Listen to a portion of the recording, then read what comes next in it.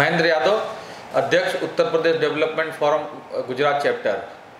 Ahmedabad lockdown होने के उपरांत उत्तर प्रदेश डेवलपमेंट फोरम लगातार अपने लोगों को फ़ूड पैकेट और किट वितरण का कार्य प्रारंभ किया है, जो लगभग ढाई हज़ार तक प्रतिदिन लोगों को बांटने का काम शुरू किया है।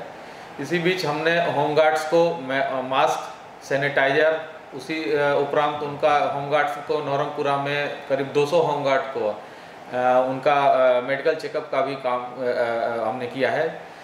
और उत्तर प्रदेश डेवलपमेंट फोरम में उत्तर प्रदेश सरकार से योगी आदित्यनाथ जी और महामहिम राज्यपाल श्रीमती आनंदीबेन पटेल से लगातार पत्र व्यवहार करते हुए उनसे ये मांग की थी कि गुजरात में जो उत्तर प्रदेश के लोग रह रहे हैं, उनके लिए किट की व्यवस्था की जाए। तो श्री योगी आदित्यनाथ जी तत्काल हमको वहाँ से, यहाँ के गवर्नर को, यहाँ के जिला अधिकारी को फ़ोन करके और कम से कम पाँच से सात सौ तक किट की व्यवस्था करवाई।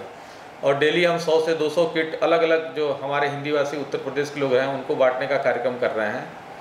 मैं महाराष्ट्र उत्तर प्रदेश डेवलपमेंट फोरम को भी धन्यवाद दूँगा कि उन्होंने श्री योगी आदित्यनाथ जी को एक पत्र के द्वारा ये सूचित किया कि महाराष्ट्र और गुजरात में तमाम ऐसे उत्तर प्रदेश के लोग निवास कर रहे हैं, जिनको अब घर वापस भेजने की बहुत ही आवश्यकता है। क्योंकि किट के सिवा और भोजन पैकेट के सिवा उनकी और भी तमाम सारी आवश्यकताएँ हैं जो हम पूर्ण नहीं कर सकते हैं।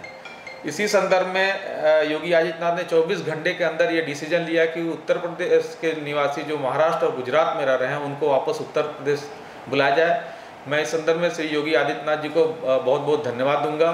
और उनके इस निर्णय से गुजरात और महाराष्ट्र में जो उत्तर प्रदेश को लोग रह रहे हैं, उनको बहुत ही मतलब अच्छा फील हो रहा है। इसके लिए मैं उनकी तरफ़ से भी एक बार उनको बहुत बहुत धन्यवाद दूँगा।